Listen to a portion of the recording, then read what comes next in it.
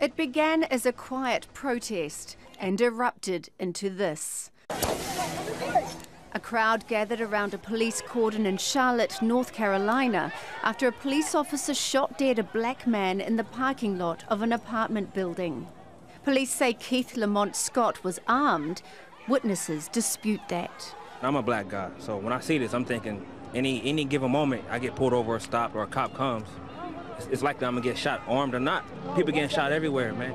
So it's if you're a black guy, you probably you probably should be scared because we're the ones getting shot.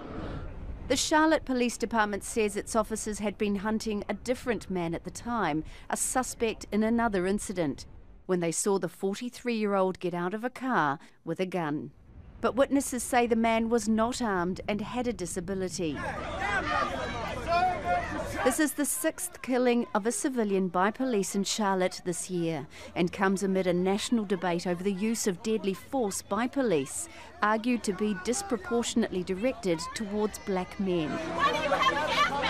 A protest also broke out in another part of North Carolina in Greensboro. People there adding their voices to the chorus of opposition to what they say is police brutality. It follows another police shooting of a black man on Friday in the state of Oklahoma. Police now say the man had a stun gun, but lawyers for the victim's family say the 40 year old had not committed any crime and had given officers no reason to use deadly force. The officers involved in this latest shooting in Charlotte have been placed on administrative leave pending an investigation.